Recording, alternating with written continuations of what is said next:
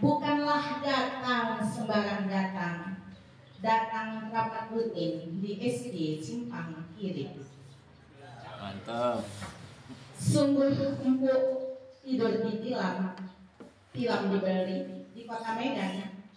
Sepuluh jari tersusun keucapan salam di hadapan para bapak ibu teman sekalian. Assalamualaikum warahmatullahi taala wabarakatuh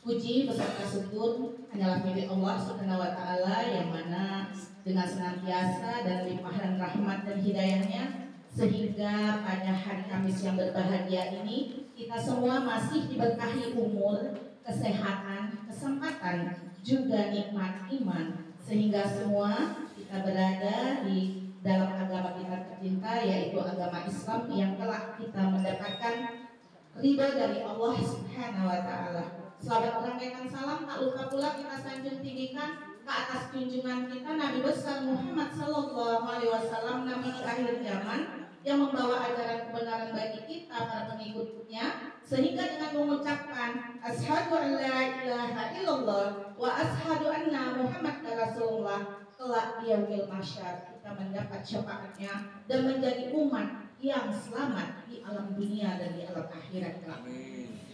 Selamat datang dan berterima kasih yang tidak terhingga kepada Bapak Kepala Dinas Kabupaten Aceh Tamiang yang sudah hadir di tengah kita. Terima kasih Bapak atas kehadirannya. Begitu juga dengan Bapak saya, Bapak Kabit DTK, Bapak Amir Rogi. Senang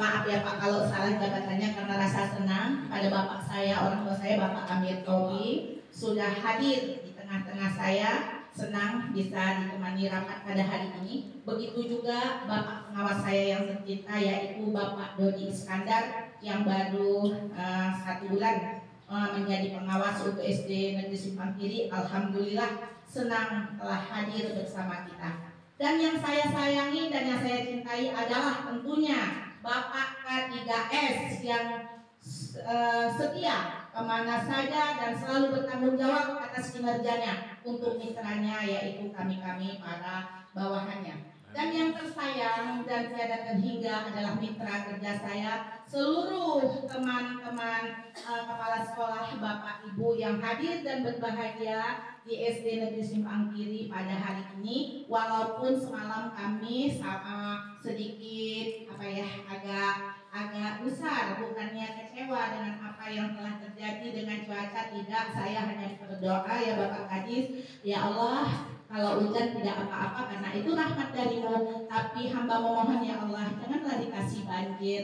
Karena kalau banjir nggak mungkin lah. Bagaimana untuk menyampaikan ke istri saya? Alhamdulillah pada hari ini cuacanya cerah dan semua teman-teman yang tidak berhalangan bisa hadir di SD Negeri Simpang Kiri. Saya sebagai kepala sekolah SD Negeri Simpang Kiri tidak banyak untuk mengatakan uh, profil sekolah saya dan apa-apa yang ada ekskul di sekolah saya karena saya mohon kesediaan Bapak Kajis, Bapak Kasih, Bapak uh, pengawas dan seluruh teman saya sajikan semua yang ada di SD saya melalui video. Saya harap berkenan